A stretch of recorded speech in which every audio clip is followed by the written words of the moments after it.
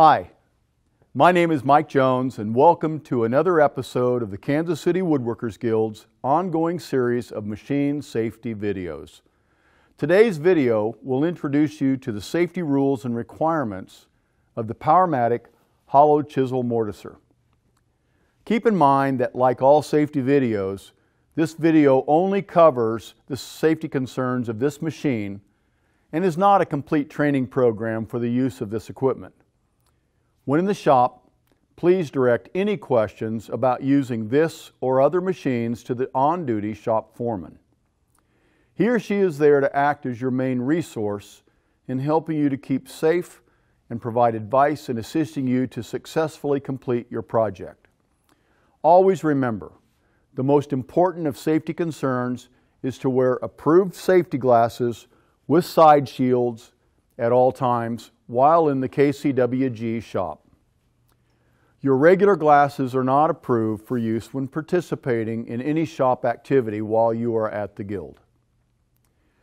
Hollow chisel mortisers are used to cut square or rectangular holes in wood, generally for the mortise side of a mortise and tenon joint.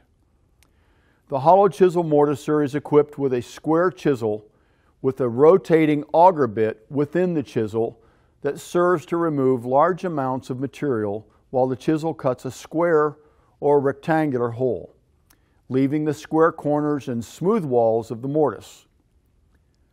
Hollow chisel mortisers are similar to a drill press in that the mortiser combines the square chisel with the rotating drill bit in the center.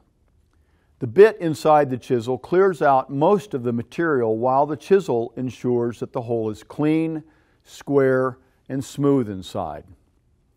When using the hollow chisel mortiser, one must first install the proper size chisel.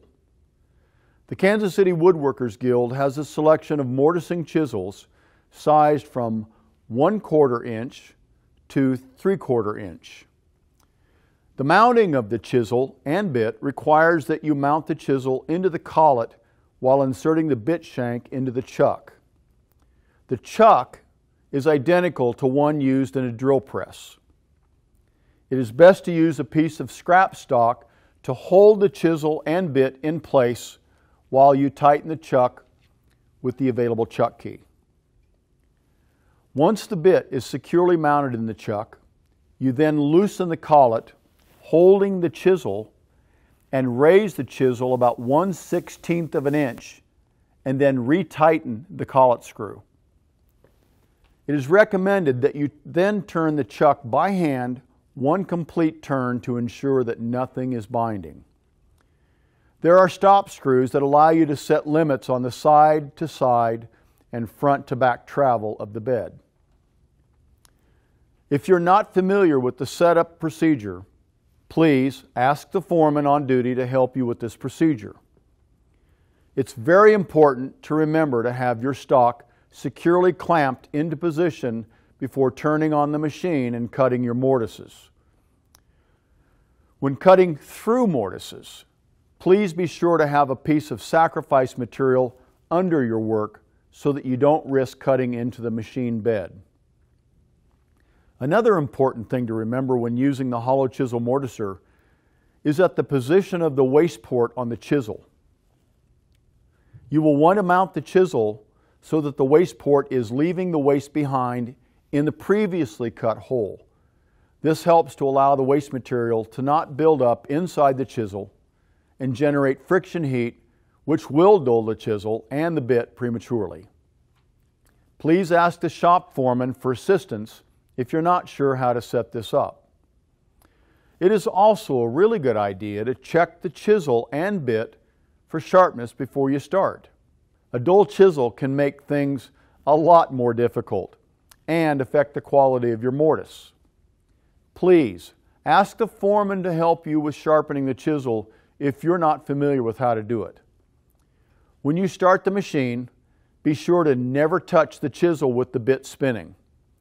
You should never allow your hands or fingers to be closer than three inches from the chisel when cutting your mortise. The auger is exposed on the side of the chisel where the waste port is located and can cause severe injury should you touch it. Remember, when cutting your mortises, the bit and chisel, ideally, should be fully engaged. Cut your first hole, then move the bed about two thirds the size of the next hole to make the next cut. This puts less strain on the bit and eliminates the deflection of the chisel and bit and the high level of heat that can be generated by the deflection. Following this procedure will produce a cleaner cut and more professional looking results.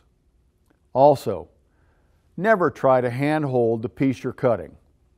Your stock should be firmly clamped in the machine before you turn the mortiser on.